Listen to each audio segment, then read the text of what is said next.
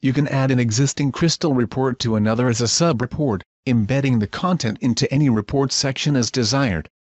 In this tutorial, you will embed an existing report in the report footer of another report. Note that this tutorial covers features available in SAP Crystal Reports for Enterprise, version 14.0.0, Build R760V 2010-1019.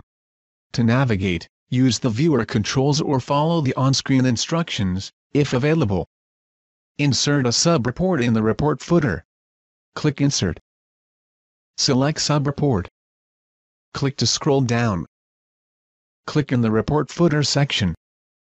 Browse to and select an existing report. Choose the Use Existing Report option. Click Browse. Select the product class quantity by country file. Click Open. Click Next. Click Finish.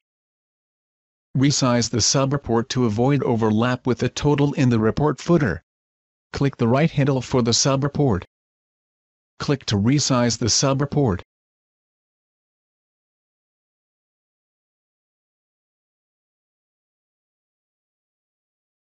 Format the subreport to remove the border around it. Click Format. Select Format Subreport. Click Appearance. Click the left list. Select None. Click the top list. Select None. Click the right list.